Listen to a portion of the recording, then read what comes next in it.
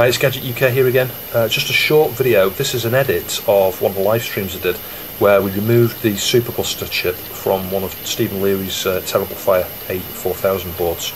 I used low melting point solder. It was uh, just something different to show people, but also it kind of mitigates the risk because you have to use less heat for you know shorter period of time.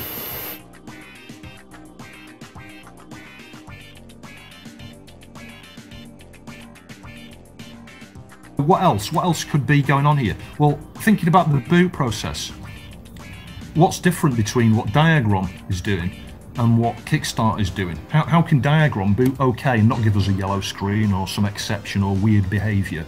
Um, and I think the answer is Buster. Can't be anything else because Diagrom, it's, it's obviously booting some code there. Now, that tells us a number of things straight away. The fact this is boots the data bus and, uh, and, the address bus and everything is fine. If, that, if we had a problem there at all, even perhaps with one of these 245s, if one of these 245s was interfering with the data bus or one of the control signals, it wouldn't even boot Diagrom.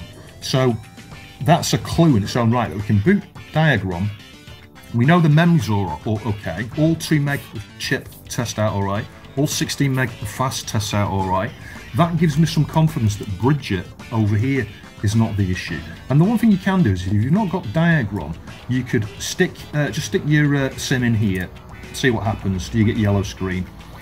Um, and then power it off, remove the chip RAM SIMM, because that's what this is here, sorry, it might not be obvious. The four SIMM slots here are for fast RAM, so you can put up to four, 4 meg modules in there and get 16 meg, and that first slot there is for 2 meg of chip RAM. Incidentally, you can put a, a 4 meg, a normal 4 meg SIMM in there, um, if you've not got the right type, and that's something I need to do a bit of research onto, but some, someone watching this might know more about it.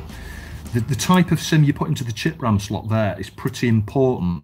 Uh, it's got to have, and I'm reluctant to say this, but chips on both sides of the SIMM. There's something specific about that. It's how it's routed. It's like they're in two separate banks. So if you put a 4 meg SIMM in here, that's got chips on one side and chips on the other, typically, not always, but typically, they're classed as two separate banks and this is able to access one side, uh, well, half of one side, half of here, and go, you've got two meg.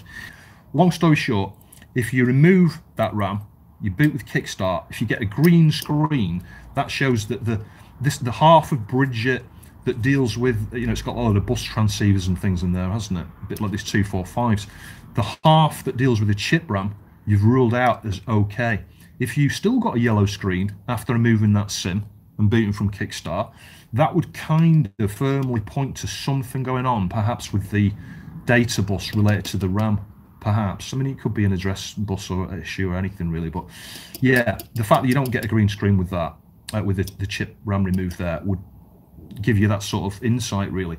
But that's not what's happening here. If I remove the chip RAM and boot this with Kickstart, you get a green screen. Only when you stick the SIMM back in and it starts to get a bit further into the boot process, past the chip RAM test, that's when we get the yellow screen. So that shows us again a number of things. It shows us that it's booting sufficiently in terms of you know the address and the data bus. They're all okay. We haven't got any compromise there. And when I say compromise, I'm talking about things right into that data bus when they shouldn't be. You know, for example, it might be trying to read from the ROM and something else somewhere, i.e. Buster, might be right into it. That's where you, what you, I would class as a, a bus being compromised. Something's interfering with it. It's stepping out of line. It's speaking when it shouldn't kind of thing, and speaking over the ROM in layman's terms.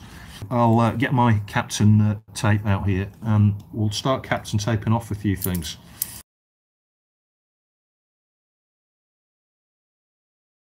I haven't got much of this, but I think, uh, and people will tell you this stuff's awful because it contaminates, you know, you get it mixed with your solder, you've then got to spend a while removing it. But I'm not too worried about that. We will spend some time removing it with some uh, It's a bit brittle. Brakes look, it just snaps. That bit's all right. Um, yeah, we'll spend some time removing it, cleaning up the sides of the chip, cleaning up the pads.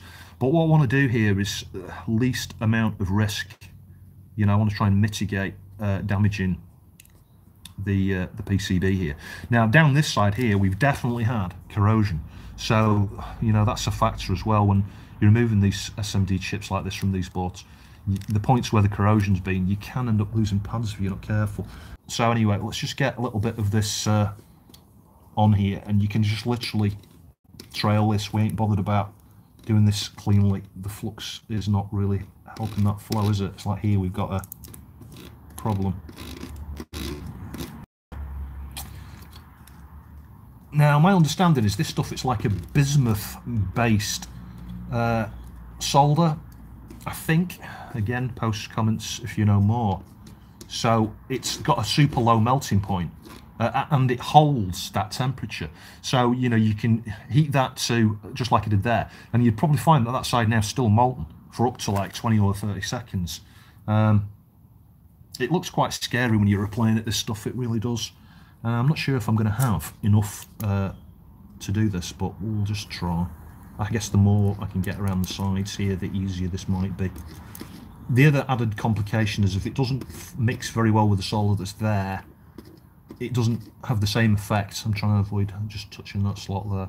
It doesn't have the uh, effect you want it to if it doesn't, you know, if you don't leave it long enough to, to get right there. Anyway, let's do that. The other thing you can do is you can reuse this as well. If you suck this, the majority of this off with the uh, solder sucker later, you can reuse it at least once. I wouldn't reuse it too many times because obviously it's going to be mixed with all of the solder that's already on there. Now you never know, if I'm lucky we might not even need hot air to remove this. If I have got enough of this here and it's gone underneath sufficient mixed with the uh, solder that's already there, we might uh, just be okay. It might just be a case of just passing around the chip a few times and then it slides off. I'm not sure I'm that lucky.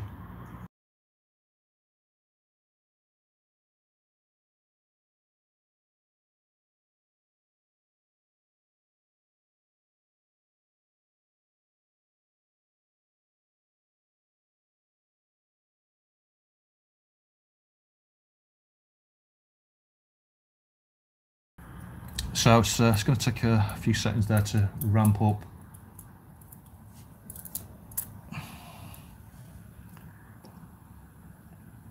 See, look at that. That's melt. That's still molten. That.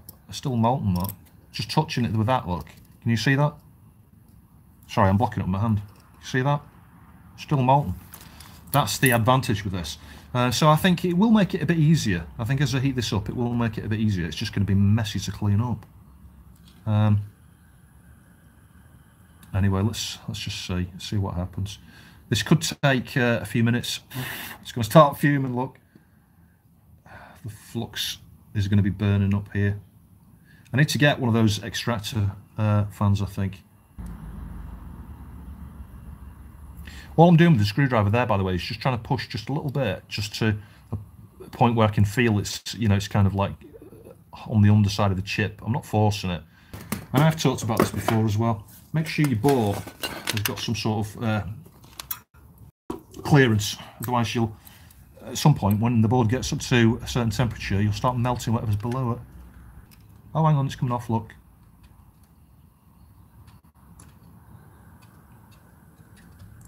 Yeah you just got to be super careful because what I don't want to do is lose any pads. Feels like sticking a bit here. Look at that big blob of solder there. Come on It's this just this corner. There we go. It's come off. Look. Right. So I think what we'll do now is just carefully lift it and flip it. There we go. So actually, that wasn't bad, was it? That wasn't bad at all. Not too long either. Not very much heat. Uh, we've got some giant blobs there. So you can see what I mean now, about being able to reuse that. Bear in mind it's going to be mixed with some leaded solder, but it will still have the low melting point uh, effect there. If I hadn't used that low melting point solder there, I guarantee I would have been out that for, at the temperature I was at, 420, I would have been out that for another 10 minutes, I reckon, chip that size. And uh, some you saw some pins stick down here. There would have been a lot of pins like that as I, as it started to come up. You know, it's because you, you, heat one side and then this side's cooling down. So you've got to kind of like go around and round and round and round and round, unless you get a nozzle that is sufficiently large enough to cover the whole thing. But then you put in the you know the center of the chip itself at a risk, kind of, in my opinion, because you you know you're heating it for a long period of time, the actual uh, chip body itself. So what I'm going to do now is just, uh, and again I'm going to be blocking it with my hand here, I think, is just suck this up like that. And I'll clean the desolder pump out afterwards and then just save that bit just because I will be able to get another chip off another board at some point using that. Sorry if I'm blocking it, well I'll just get the majority of that out of the way. The remaining stuff that's on there now, I would just uh, start mopping this up. So here's another recommendation for you actually. I changed to this braid. I used usually get just like cheap stuff from China that's like, I don't know, it's like two or two pound a roll or something. The same sort of size, the same sort of thickness. It's what is it, about one and a half, uh, two millimeters or something like two millimeters in thickness. Um, but this Chem-Wik stuff, you can get it from uh, Farnell or RS. I think RS Online is where I got this because I got some flux recently with it as well. Because these boards have just consumed so much uh, in the way of flux and braid. Um, I thought I'll try some of this Chem-Wik stuff, and uh, I think it has uh, a flux core or something. It's a little because I mean it says there no clean, so I'm guessing it has a little bit of flux in there. So where normally I'd have to add a load of extra flux there, we might still need to add some. It tends to uh, just work really well. I talked about this before. The reason it's best to go in say that way, like that with these pads, is because if you were to look at the left hand side of them, there's a little trace that goes to a via on the left hand side. So they have support, they have more physical support from that orientation than they do from, I don't know, that orientation, you know, so, or, or the top way there. So by virtue of going that way, down this, this lot here, if you attach to one of them or one of them's weak and you, you know, pull it, you know, because that heat's going to affect the epoxy and stuff that these are, you know, these pads are stuck down within the factory, you know, the it's not really epoxy. They're not like stuck down. It's uh, it's a layer, isn't it? That's epoxied as a whole, and then they etch the the bits that aren't used. Um, but yeah, going one way is safer than going another.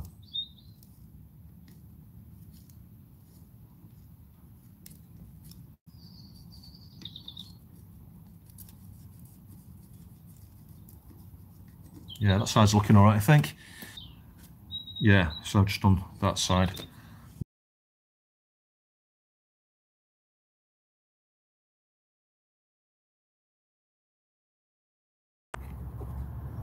Just gently. I don't want to, again, snag the pins and bend them out of place.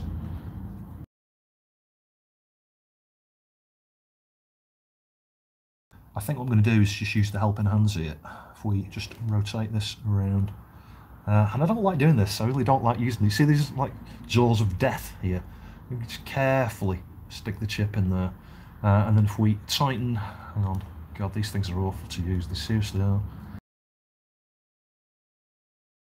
I'm just going to get a little bit of uh, Chipquik uh, flux on here.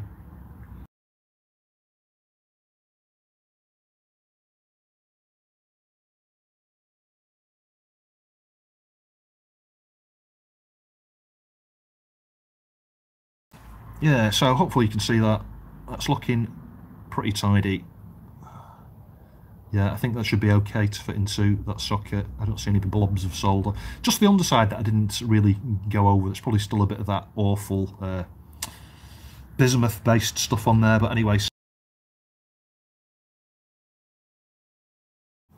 There we go, so that's that one out.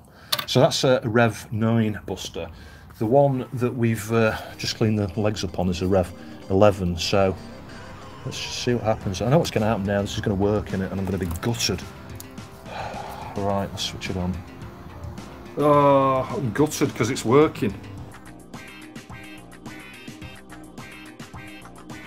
So I do hope you found the video interesting. I'll get some more videos up soon, including some more edits of some of the live streams as well.